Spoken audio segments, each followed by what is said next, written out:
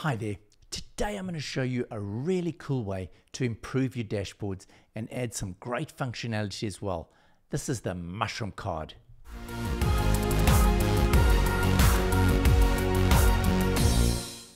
So the Mushroom card HACS integration is a really cool. You can see the look and feel of some of these sliding controls that you've got, fan controls, alarms, all sorts of things. This is an absolutely awesome um, HACS download. And the beauty is that Paul, who developed this, is now actually working for the Nabu Casa team. So my understanding is that more and more of these are going to be integrated into the Home Assistant dashboard. So to download our mushroom cards, we need to have HACS installed. I'll leave a link in the description below showing you how to do this. So we click on HACS and then we search for a mushroom. There we go, mushroom cards and we go download. There we go. Now we just need to reload our browser. And now we can go ahead and install Mushroom cards. So, so these cards are really easy to install. All we do is edit our dashboard as normal, and then we go to add a card. Search for Mushroom, and there we go. It shows all of our options. So you can see we've got from alarm panels to climate, to fan, to locks, to lights, uh, person cards, all sorts of really cool different functionality.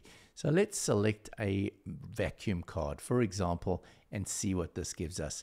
So as you can see, there's no YAML required. It's all graphical interface. So it's already found my Roborock S8, which is pretty cool. Um, let's say we want to animate. Uh, let's select the full container there. So we can now say which are the commands we want to show.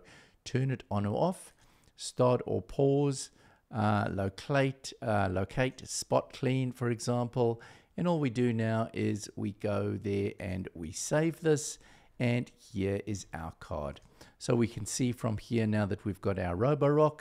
So from here we can actually go and we can start the Roborock um, we can select a spot clean area or we can locate it.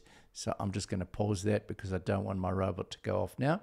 But having a look at some of the other mushroom cards here, here is a light card. So the beauty of this is, as you can see, you can just select the slider like that for your brightness. And if we want to go to on and off, we've got it over there. Um, if we go to blind, for example, We've got a, I've got some uh, blinds that I've just installed into my bathroom. So the beauty of this is now we can immediately just click to open or to close and there we can see it is opening. So these cards, so as you can see, these mushroom cards are really awesome.